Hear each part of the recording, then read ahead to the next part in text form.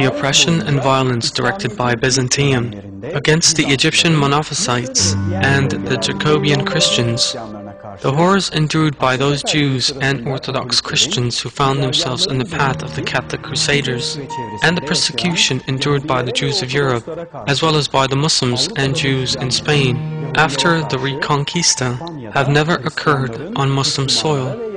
Driven out of Spain and faced with more hardship in other countries where they sought refuge, many died of hunger and thirst at the gates of towns and cities they were not permitted to enter.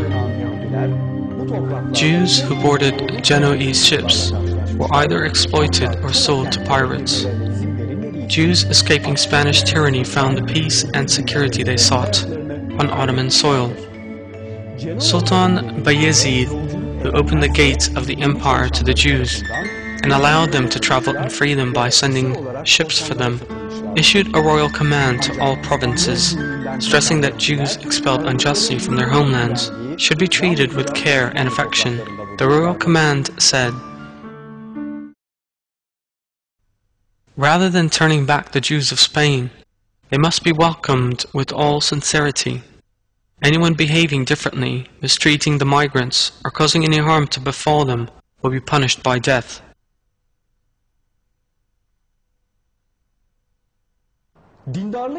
Sultan Bayezid is known to history as a religious man, and his hospitality and affection were based on the Quran's morality.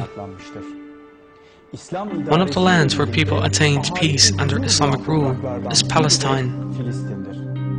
Jewish and Christian communities living in Palestine enjoyed freedom of belief in the days of Islamic rule. They lived in peace and security under Muslim administration and engaged freely in art and commerce. The Ottoman Empire established peace and security in the region for 500 years, and it has proved impossible to rebuild that order brought about by the Ottomans.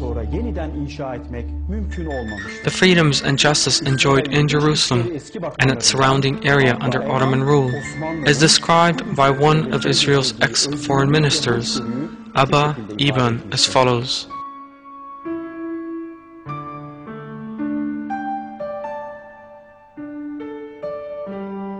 Jerusalem and the Jewish nation suffered bloodshed and torture from the Romans and every other occupying force. Only after the conquest of Jerusalem by Sultan Yavuz Selim and its fortification by Suleiman the Magnificent did the Jewish nation discover what humanity, equality, and a peaceful life meant.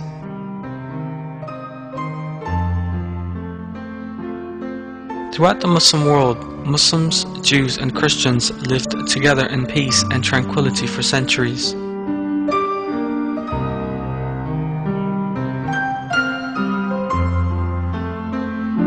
The people of the book engaged in commerce and acquired property as they wished, engaged in the trade or profession of their choice, and were appointed to posts in the state administration, and even the Sultan's palace.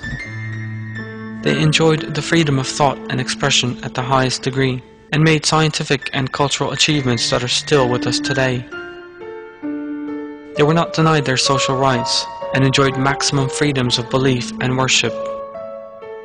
This unequaled compassion and justice in Muslim lands was based on the Quran's morality.